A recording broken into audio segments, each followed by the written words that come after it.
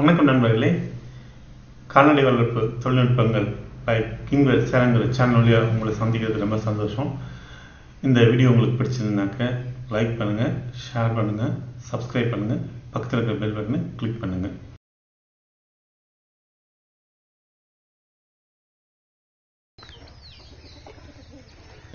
வணக்கங்க வணக்கம் டாக்டர். உங்க உங்களை பத்தி கொஞ்சம் அறிமுகப்படுத்திங்களா? என் பேர் வந்து அசோகனுங்க. நான் வந்து டாக்டரா இருந்தேன். உங்க தொடர்பு என்ன சொல்லுங்க? என்னுடைய வந்து nine double four double three two one zero five one. Five இது என்னுடைய தொடர்பு என்னங்க? எங்களுக்கு ஏதாவது உங்களுக்கு ஏதாவது ஆலோசனை ஏதாவது தேவைப்படுது பார்க்கணும் எங்க பண்ணீங்கன்னா தாராளமா நீங்க ஃபோன் பண்ணுங்க. சார் நான் படிச்சுட்டு அப்புறம் கோயம்புத்தூர் போய் கோயம்புத்தூர்ல எனக்கு மெடிக்கல் காலேஜில் ம். படித்தோம் ம். அப்புறம் இது என் மனைவி கோயம்புத்தூர் மெடிக்கல் காலேஜ் தான் அவங்களும் படிச்சாங்க. நாங்க உங்க? பேருமே ஜீவரத்னம். சரிங்க. நான் ஓஜி ப்ராக்டிஸ் பண்ணிட்டு இருந்தேன் கோயம்புத்தூர்ல. சரிங்க. அஹ் முதல்ல ராமகிருஷ்ணா ஹாஸ்பிட்டல்ல ஒர்க் பண்ணிட்டு இருந்தேன் அப்புறம் வந்து பிரைவேட்டா நாங்களே நர்சிங் ஹோம் வச்சுட்டு அங்கே ப்ராக்டிஸ் பண்ணிட்டு இருந்தோம் சரி.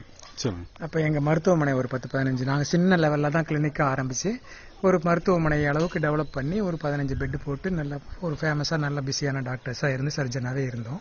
இருந்துட்டு ஓரளவுக்கு நாங்களும் தேவையான அளவுக்கு பணம்னு சம்பாதிச்ச உடனே சரி எங்களுக்கு வாழ்க்கையும் அது கொஞ்சம் போதும் இந்த அளவுக்கு இருந்தா போதும். இனி எங்க பசங்க போதுங்கிற திருப்தி. போதுங்கிற மனமே பொன் செய்யும் மருந்துங்கிறது வாழ்க்கையில. எங்க பசங்களும் எல்லாமே செட்டில் ஆயிட்டாங்க. எனக்கு ரெண்டு பசங்கங்க. ம். ரெண்டு அவங்க எல்லாம் லைஃப்ல செட்டில் பண்ணி பேரம்பேத்தி எல்லாம் ஆயிடுச்சு.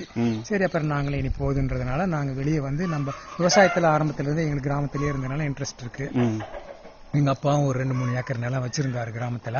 ஆரம்பத்துல வச்சிருந்தாரு. அப்புறம் அதை வித்துட்டாரு. அப்புறம் நாங்க அந்த லைன்ல வந்ததுனால இங்க இடம் வாங்கிட்டு இங்கேயே வந்து இப்போ ஒருங்கிணைந்த பண்ணையமா இதை நடத்திட்டு இருக்கோம் ஆரம்பத்துல இருந்து சின்ன சின்ன லெவல்ல ஆரம்பிச்சோம். கோழி ஆடு மாடு எல்லாமே ஆரம்பிச்சோம். எல்லாமே இப்ப கொஞ்சம் ஓரளவுக்கு வளர்ந்து எல்லாமே ஒரு- ரெண்டு வருஷத்துல நல்லா டெவலப் ஆயிருக்குதுங்க. ஃபர்ஸ்ட் ஒன் இயர் நாங்க போய் எல்லாம் கிளாஸஸ் எல்லாம் அட்டன் பண்ணோம் சார் ம். கிளாஸ் மாடு எங்கெங்க வளர்ப்பு கோழி வளர்ப்பு ஆடு வளர்ப்பு எல்லாமே பண்ணணும். ம். எங்கெங்க இது போடுறாங்களோ அங்கெல்லாம் போய் பசுமை வீடுல வரும். அட்வர்டைஸ் பண்ணுவாங்க. சரி அப்புறம் அங்கெல்லாம் போய் போய் நாங்க கிளாஸஸ் எல்லாம் அட்டன் பண்ணிட்டு அந்த தேனி வளர்ப்பு கூட கிளாஸ் போனோம். பயிற்சி போனீங்க? பிளஸ் பயிற்சி. விவசாயிகளும் பயிற்சி போனோம். பயிற்சிகளுக்கு போனோம். அப்புறம் இடம் வந்து ஒரு ஒரு தோட்டமா போய் பார்த்துட்டு வருவோம். அவங்க எல்லாம் வச்சிருக்காங்களா? ஆடு மாடு எல்லாம் வச்சிருக்காங்களா? பட்டியில வச்சிருக்கிறவங்க அதெல்லாம் போய் பார்த்து நாங்களா ஒரு இது பண்ணிக்கிட்டோம். இந்த இது இப்படி பண்ணா நல்லா இருக்கும் நல்லா தேவையான இருக்கும்னு. தொழில்நுட்ப அறிவுகளும் தேவையானதெல்லாம் நாங்க வந்து நோட் பண்ணிக்கிட்டு வந்தோம். அப்புறம் தான் நாங்க எங்களுக்கு இந்த இன்ட்ரெஸ்ட் வந்தது.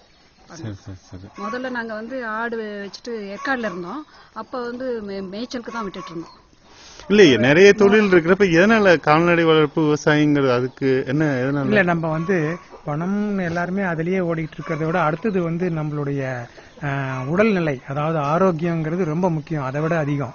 ஆனா நம்ம எல்லாரும் பணத்து பின்னாடியே ஓடி அந்த வியாதி இந்த வியாதின்னு பல வியாதிகள் உழைப்பு இல்லாம போனதுனால நீங்க ஒரு டாக்டருங்கிறப்ப ஆரோக்கிய பத்தி பேசுறப்ப இன்னும் ரொம்ப சரியான புரிதலா இருக்கும்னு நினைக்கிறேன். கண்டிப்பாங்க. நிறைய நாங்க இந்த பேஷண்ட்ஸ் வந்து அவங்க அல்லல் படுறது அவங்களுடைய நோய்கள் எல்லாத்துக்குமே காரணம் வந்து உடல் உழைப்பு இன்மை ரெண்டாவது வந்து அவங்களுடைய ஆகார பழக்க வழக்கங்கள். இது ரெண்டு விட்டு நம்ம வெளியே வந்தா தான் இதுல சரியாகும். நம்மளே அந்த வழியில போகலைன்னா எப்படிங்கிறதுனால நாங்க வந்தோம். இந்த மாதிரி வந்து நம்மளே உடல் உழைப்பு பண்ணி எங்களுடைய வேலையாவே இதை டெவலப் பண்ணி பண்றப்போ எங்களுக்கு உழைப்புங்கிறது ஒண்ணு இங்க வந்த அப்புறம் தான் தெரிஞ்சது. நல்ல ஆரோக்கியமாவே இருக்கும் அந்த வயசுலயே. அது இல்லாம போனதுனால தான் இப்ப இளைஞர்களே நிறைய பேர் கண்டபடி சீக்குகள் வந்து கஷ்டப்பட்டுட்டு இருக்கிறாங்க பணம்ங்கிறது அடுத்தது தேவைதான். இல்லைன்னு சொல்லல அடுத்தது வேண்டியிருக்கு. அப்போ டாக்டர் சார் டாக்டர் உங்க அட்வைஸ் என்ன இப்ப இருக்கிற இளைஞர்களுக்கு நீங்க பணம் சம்பாதிக்கிறீங்களோ இல்லையோ நீங்க வந்து ஒரு பண்ணையை வச்சு இதுல வேலை செய்யறது மூலம் உங்க ஆரோக்கியத்தையாவது இம்ப்ரூவ் பண்ணிக்கிறீங்க. இது லாபங்கிறது வந்து உங்கள் ஆரோக்கியம். ஆரோக்கியம்? மட்டும் இல்ல சார். இது வந்து எங்க குழந்தைங்களோட ஆரோக்கியத்தையும் இதுல கன்சர்ன் பண்ணிருக்கோம் என்னன்னா நம்ம ப்ரொடியூஸ் பண்றது வந்து எல்லாம் ஆர்கானிக் ஃபுட். இத வந்து நம்ம முதல்ல குழந்தைங்களுக்கு கொடுத்தோம்னா அவங்களுக்கு பின்னால பிற்காலத்துல வரக்கூடிய டிசீசஸ் கொஞ்சம் குறைச்சிடலாம். சோ அந்த ஐடியாவும் இருக்கு. அப்புறம் எங்க ஃப்ரெண்ட் ஃப்ரெண்ட்ஸ் ரிலேட்டிவ்ஸ் அவங்களுக்கெல்லாம் கூட எங்க ப்ரொடியூஸை கொடுக்குறோம். சோ அவங்க அதை டேஸ்ட் பண்ணிட்டாங்கன்னா அவங்களுக்கு ஆர்கானிக்னா என்னங்கிறது தெரியுது. அவங்களோட நோயெல்லாம் கொஞ்சம் கண்ட்ரோல் வர்றதுங்கிறது அவங்களுக்கு புரியுது. சோ அதனாலயும் நாங்க பண்ணிட்டு இருக்கோம். முதல்ல ஒரு சின்ன லெவல்ல பண்றோம். எங்களை சரௌண்டிங்ல இருக்கிறவங்க எல்லாம் கூட இப்போ கெமிக்கல்ஸ் எல்லாம் யூஸ் பண்றாங்க. அவங்களையும் நாங்க வந்து இந்த லைனுக்கு கொண்டு வரதுக்கு பாக்குறோம். எங்க எவ்வளவோ ட்ரை பண்றோம். யாரும் இந்த லைனுக்கு வர மாட்டேங்கிறாங்க இது வந்து படிச்ச இள இளைஞர்களா இருந்தாங்கன்னா அவங்க சீக்கிரமா ரீச் பண்ணும். அது நம்ம சொல்றது வந்து அவங்க புரிஞ்சுக்கிட்டு பண்ணுவாங்க. இப்போ கொஞ்சம் பேர் வர்றாங்க. இன்ஜினியரிங் முடிச்சிட்டாலும் கூட வந்து எங்ககிட்ட கேட்குறாங்க அட்வைஸ் கேட்குறாங்க ஸோ நாங்க அதெல்லாம் சொல்லிட்டு இருக்கோம். எக்ஸ்பிளைன் பண்றோம். சிலர்லாம் வர்றாங்க. அப்படி வர்றவங்களுக்கு நாங்க கைட் பண்ணவும் தயாரா இருக்கோம். ஓகே டாக்டர் இப்போ ஒரு இன்னொரு கேள்வி. உங்களுக்கு வயசு என்ன ஆகுதுங்க சொல்லலாமா எனக்கு சொல்லலாங்க கண்டிப்பாங்க. எனக்கு வந்து அறுபத்தி மூணுங்க நான் வந்து ரெண்டாயிரத்தி பதிமூணுல ஃபீல்டை விட்டு வெளியே வந்தேன். இப்ப கிட்டத்தட்ட ஒரு அஞ்சு வருஷமா நாங்க இதை பண்ணிட்டு இருக்கோம். என்ன இப்ப அறுபத்தி மூணுங்கிறப்ப. நீங்க வந்து ஆரம்பத்துல உங்க அப்பா டீச்சர்னு அவங்க கிராமத்துல இருந்து வந்த நீங்க. படிச்சுட்டு அப்புறம் டவுன்ல போயிட்டீங்க. அதுக்கப்புறம் மறுபடியும் உங்க தொழில் மறுபடியும் கிராமத்துக்கு வந்துட்டீங்க. சோ நீங்க ஏற்கனவே கிராம சூழல்ல இருந்து பாத்திருக்கீங்க டவுன் சூழல்ல இருந்திருக்கீங்க. மறுபடியும் கிராம சூழல்ல வந்திருக்கீங்க. இப்போ இதுல வந்து உங்க ஆரம்ப சமயத்துல வந்து ஆரோக்கியத்துல எதுவும் குறைபாடு இல்லை. ஏன்னா அப்பெல்லாம் எல்லாம் கிராமம் டவுன்ல அதிகம் இல்லாதப்ப இப்ப வந்து நிறைய டவுன் வந்துட்டு மறுபடியும் ஆரோக்கியம் கெட்டு போச்சு மறுபடியும் கிராமத்துக்கு வரணும்னு விரும்புறீங்க. அந்த ஆரோக்கியம் கெட்டு அந்த இடைப்பட்ட காலத்துல அப்ப எப்படி எதனால ஆரோக்கியமா இருந்தாங்க? நடுமத்துல ஏன் ஆரோக்கியம் இல்லாம போச்சு? மறுபடியும் ஏன் தூக்கி நம்ம திரும்ப ஏன்னா இப்ப நிறைய இளைஞர்கள் வந்து டவுனை நோக்கி போறப்ப அவங்க ஏன் கிராமத்தை நோக்கி வரணும் விவசாயத்தை நோக்கி வரணும் கால்நடைகளை நோக்கி வரணுங்கிறதுக்கு ஒரு அதுக்காக கேக்குறேன் ஆமா இப்ப வந்து நம்ம கிரா டவுன்லயே இருந்துட்டோம்னா அவங்களுக்கு வந்து உட்காந்துட்டு டிவி பாக்குறது சும்மா தேவையில்லாம நேரத்தை போக்குறது அரட்டைகள் கேளிக்கைகள் ரொம்ப ஆடம்பர வாழ்க்கை. இந்த மாதிரி போயிடுறாங்க இளைஞர்கள். அந்த மாதிரி போறப்ப கண்டிப்பா உடல்நிலை கண்டிப்பா அடிபட்டு போயிடுதுங்க. அடிபட்டு பின்னாடி அவங்க வந்து ரொம்ப கஷ்டப்படுறாங்க. இந்த மாதிரி உடல்நிலைக்காக தாங்க சம்பாரிச்ச பணமெல்லாம் உடல்நிலைக்கு டாக்டர்களுக்கு கொண்டு போய் கொட்ட வேண்டிய ஒரு நிலைமை ஏற்பட்டு போயிடுது. அதை ஆரம்பத்திலேயே நம்ம தடுக்கணும்னா ஓரளவுக்கு நமக்கு பணம் தேவைதான். அது வரைக்கும் நம்ம சாரண செய்கிற வாழ்க்கையை நம்ம நடத்திக்கிட்டு இருந்தோம்னா ரொம்ப நல்லா இருக்குது. ஹாப்பியாகவும் போறோம். நல்லா இருக்கு. மனசுலயும் இப்ப சந்தோஷமா இருக்கு. இப்ப கோழிகளை பாக்குறோம் மாடு பாக்குறோம். இதெல்லாம் பாக்குறப்ப மனசுல எவ்வளவு சந்தோஷமா இருக்கு தெரியுங்களா? ஆனா இன்னைய தேதிக்கு இளைஞர்கள் பொறுத்த வரைக்கும் வாழ்க்கையை வாழணும் வாழ்றதுன்னா என்ன? பைக் வேணும் கார் வேணும் வசதி வேணும் டிவி வேணும் இன்னைக்கு நெட் வேணும். அது இல்லாம வாழ்க்கைங்கிறது அதனாலதான் சொல்ல வரேன். அஹ் இல்ல வேணுங்க. இல்லன்னு சொல்லல. இப்ப எங்ககிட்டயே ஒரு கார் இருக்கு. என்ன இருக்கோ என்னென்ன ஒண்ணு தேவைதான். ஆனா வந்து அது அளவுக்கு மீறி தேவையில்லை. இப்போ நம்ம பரம்பரைக்கு என்ன வேணுமோ அதை நம்ம சேமிச்சு வச்சுக்கலாம். ஆனா நாலு பரம்பரைக்கு சேமிச்சு வைக்கிற அளவுக்கு நம்ம காசு வேணும்னு ஓடிக்கிட்டே இருந்தோம்னா அதுல என்ன அர்த்தம் இருக்குது?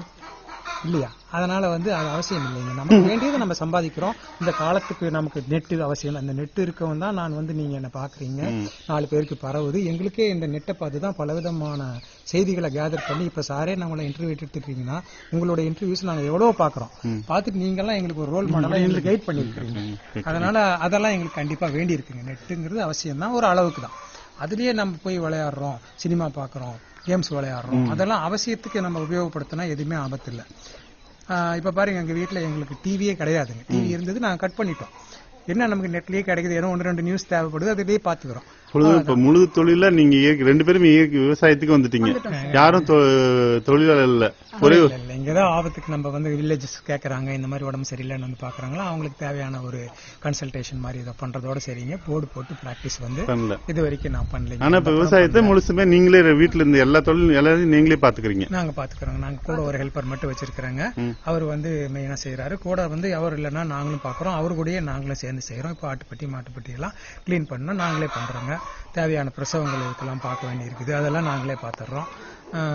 சார் மாதிரி வந்து எங்களுக்கு வந்து பூச்சி மருந்து கொடுக்கறது கைடன்ஸ் பண்றதுக்கு மட்டும் நம்ம பக்கத்துல இருக்கிற வில்லேஜ் டாக்டர்ஸ் ரொம்ப உதவுறாங்க.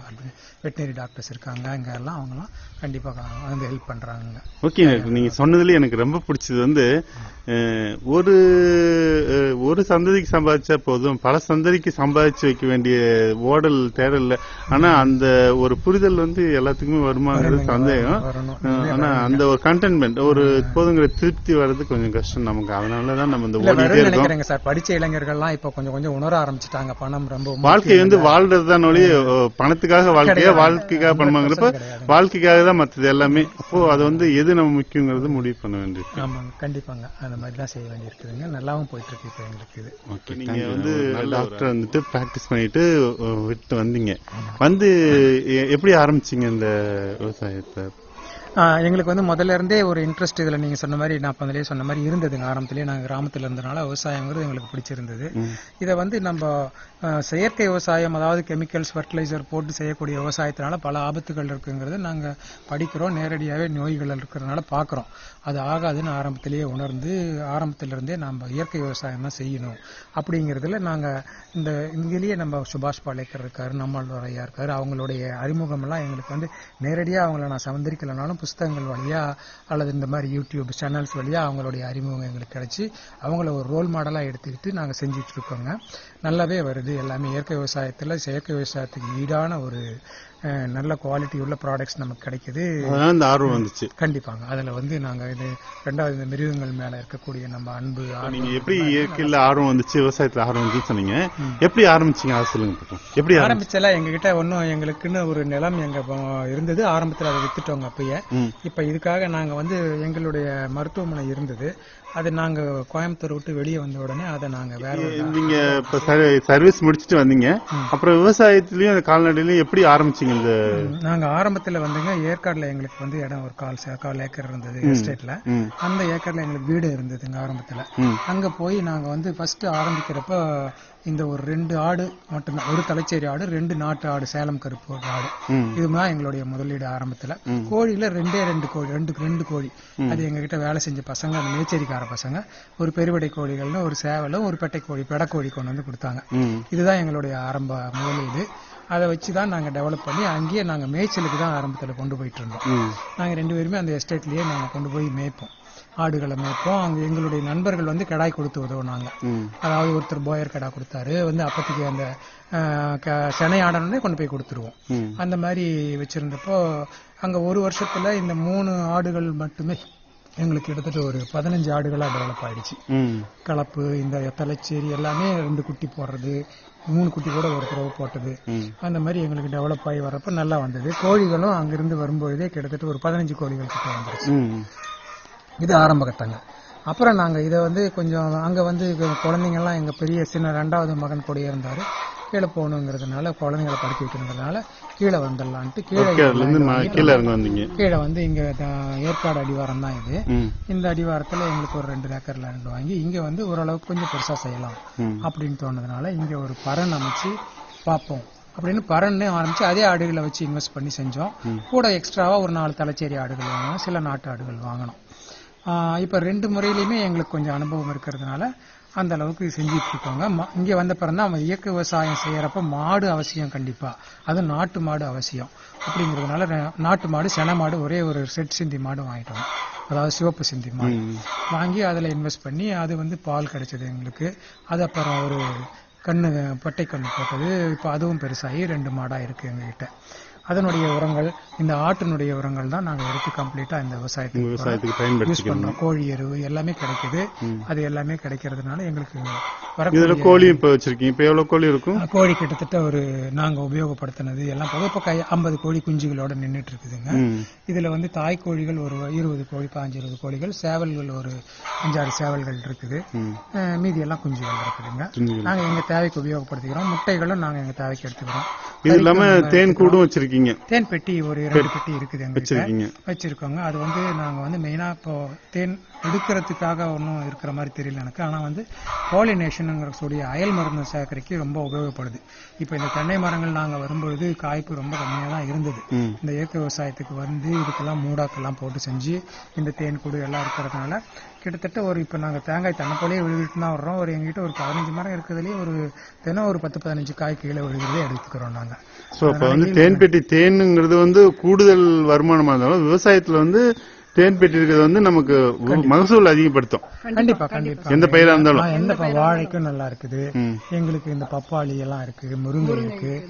எல்லாத்துலயும் நல்ல மகசூல் கிடைக்குதுங்க. இது எல்லாமே அந்த தேன்பெட்டி ரொம்ப உபயோகப்படும் ஒரு விவசாயிங்கிறப்ப ஒரு தேன் பெட்டி வச்சிருந்தா நிச்சயம் நல்லது. நல்லதுங்க. ரொம்ப முக்கியமா தேன் எடுக்கிறோமோ இல்லையோ இது தேன் கொஞ்சம் கடிக்கவும் செய்யும். அதுவும் கடியும் வாங்கிக்கலாம் கொஞ்சம் ஒண்ணு ரெண்டு. தப்பு இல்ல அது அதுவும் ட்ரீட்மெண்ட் தான் சார் அக்குபஞ்சர் மாதிரி. அது ஒரு ட்ரீட்மெண்ட் தான். அதுவும் நல்லா தான் இருக்கு. தேன் நல்லா போயிட்டு இருக்குதுங்க இதை விட நாங்க ஏற்காடுல இருந்தப்ப இன்னொன்னு சொல்ல மறந்துட்டேன் உங்களுக்கு. எங்ககிட்ட வான்கோழி இருந்தது புறாக்கள் இருந்ததுங்க. புறாக்கள்ல ஒரு ரெண்டு தான் ஆரம்பத்துல நாங்க வச்சிருந்தோம் வாத்து இருந்தது. எல்லாமே வச்சிருந்தோம். எல்லாமே இருந்தது. நல்லா இங்க வந்து எல்லாத்தையும் எங்களுக்கு மெயின்டைன் பண்ண முடியல. அதெல்லாம் அங்கேயே டிஸ்போஸ் பண்ணிட்டு வந்துட்டோம். புறாக்களே ரெண்டு மூணு புறாக்கள் கிட்டத்தட்ட ஒரு ஐம்பது புறாக்கள் ஆயிடுச்சு. அந்த ஒரு வருஷத்துல. அது நிறைய ஃபாஸ்டா டெவலப் ஆகும். அது ரொம்ப ஃபாஸ்டா டெவலப் ஆகும். அதை மார்க்கெட்டிங் நல்லா பண்ண தெரிஞ்சவங்களா இருந்தா அது புறா வளர்ப்புங்கிறது ஒரு ரொம்ப தனியாவே எடுத்து செய்யலாம். கண்டிப்பா செய்யலாங்க. அது ரொம்ப ஹெல்ப்ஃபுல்லா விற்பனை வாய்ப்பு தெரிஞ்சு ஆமா விற்பனை வாய்ப்பு பார்த்து செய்யணுங்க. அது செஞ்சா அது செய்யலாம். வசதி இருந்தா நல்லா செய்யலாங்க. வான்கோழி வச்சிருந்தோம். வாத்துகளும் நல்லா இருந்தீங்க எல்லாமே கொண்டு வரலைங்க நாங்க. இது மெயினா நாங்க மூணு மட்டும் கான்சென்ட் அப்ப அப்ப உங்க நீங்க சொல்றது வந்து பார்த்தா நீங்க அடிப்படையில வந்து பெரிய முதலீடு எதுவும் இல்ல. ஒரு சின்னதா நாலு ஆடு ஒரு ரெண்டு கோழியில இருந்து இத்தனையும் கொண்டு வந்திருக்கீங்க. இது எத்தனை வருஷத்துல சாத்தியமாச்சு? இது வந்து இப்ப மூணாவது வருஷம் இப்போ மூன்று வருஷம் முடிஞ்சது. Okay okay. அதாவது ஒரு வருஷம் மேல நம்ம ஏற்காடுல அந்த முறையில வளர்த்தோம். கீழே வந்தப்புறம் இப்போ வந்து அங்கிருந்தே எல்லா ஆடுகளையும் கொண்டு வந்து கோழியும் கொண்டு வந்துட்டு இது பண்ணிட்டு இருக்கீங்க வளர்த்திட்டு இருக்கோங்க இங்க வந்து பரன் போட்டு செய்யறதுனால இதுலயும் கொஞ்சம் அட்வான்டேஜஸ் இருக்குதுங்க. இதுவும் பண்ணலாம் அங்க வரப்ப மேய்ச்சல்ல வளர்த்தீங்க? பரன் இல்லாம. இங்க வந்து பரன் போட்டு வளர்த்துறீங்க. வளர்த்துறாங்க ஓகே ஓகே ஓகே. சரி நீங்க இப்ப ஒருங்கிணைந்த பண்ணையத்துல ஒவ்வொன்றா சொன்னீங்க மாடு வச்சிருக்கீங்க கோழி ஆடு வச்சிருக்கீங்க ஆட்டுலயும் அஹ், சேலம் பிளாக் தலைச்சேரி வச்சிருக்கீங்க அப்புறம் நாட்டுக்கோழி வச்சிருக்கீங்க தேன் வச்சிருக்கீங்க விவசாயமும் ஒருங்கிணைந்து இயற்கை விவசாயம் பண்ணிருக்கீங்க. சரி ஒவ்வொன்றா எங்களுக்கு சொல்லுங்க. பார்க்கலாம். இப்ப என்ன நாட்டு மாடு வச்சிருக்கீங்க? அதை பத்தி தொழில்நுட்பம் விவசாயிகளுக்கு என்ன சொல்லணும்? அதை பத்தி சொல்லுங்க பார்க்கலாம்